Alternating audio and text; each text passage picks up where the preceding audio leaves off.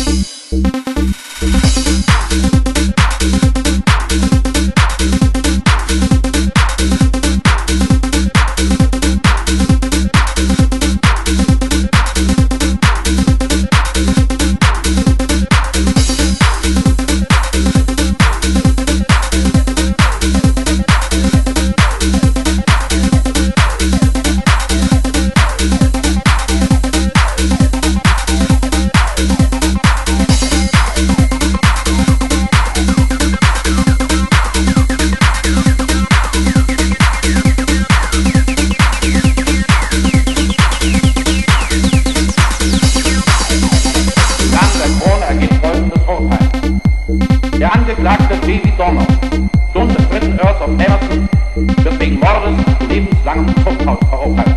Das Gericht hat jedoch beschlossen, aufgrund des ärztlichen Gutachtens von Dr. Robert Mangrove und den darauf fußenden Gründen der Verteidigung die Zuchthausstrafe auszusetzen und den Angeklagten wegen seiner völligen Unzurechnungsfähigkeit unbefristet in eine Heilanstalt einzuweisen.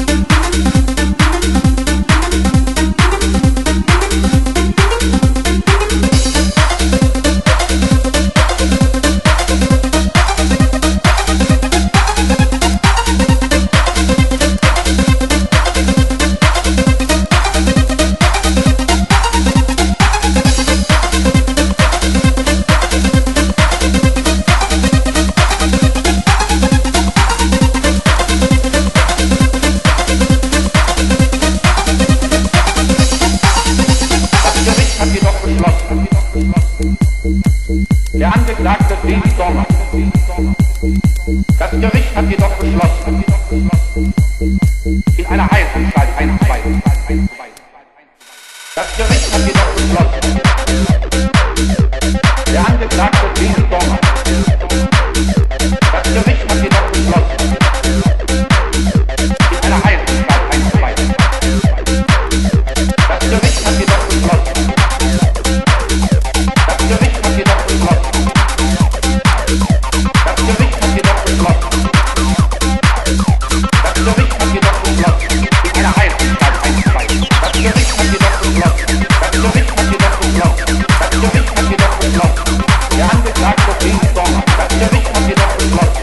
Gesicht hat jedoch umschlossen. Das Gesicht hat jedoch umschlossen. Mit einer Heilung, ein Heilung.